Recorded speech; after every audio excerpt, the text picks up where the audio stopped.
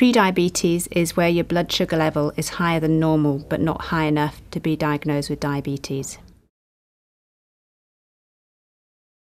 People that are more likely to get prediabetes are those people that are overweight or obese. Also, for women, if they've got a waist measurement over 80 centimetres, and for men, if they've got a waist measurement over 94 centimetres.